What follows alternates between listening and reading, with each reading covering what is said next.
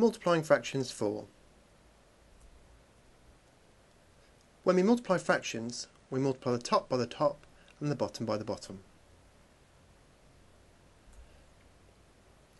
If we have a mixed number, we must turn it into a top-heavy fraction before we multiply it. 1 and 2 thirds times 4 sevenths.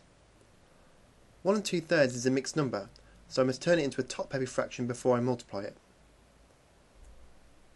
1 and 2 thirds is the same as 5 thirds.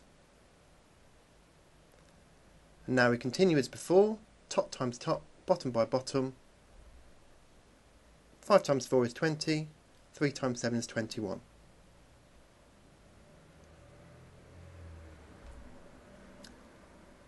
Two fifths times two and a third.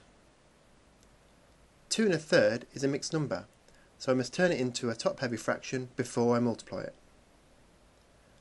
2 and a third is the same as 7 thirds. And now I continue as before, top times top, bottom by bottom. 2 times 7 is 14, 5 times 3 is 15.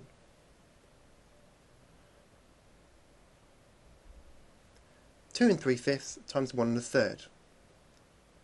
Here both the numbers are mixed numbers, so I must turn them both into top-heavy fractions. 2 and 3 fifths is the same as 13 fifths. 1 and a third is the same as 4 thirds. And now I continue as normal, top times top, bottom by bottom. 13 times 4 is 52, 5 times 3 is 15. Now this is a top-heavy fraction, so it can be turned back into a mixed number.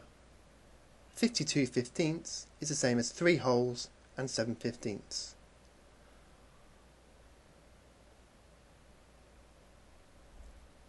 When we multiply fractions, we multiply the top by the top and the bottom by the bottom.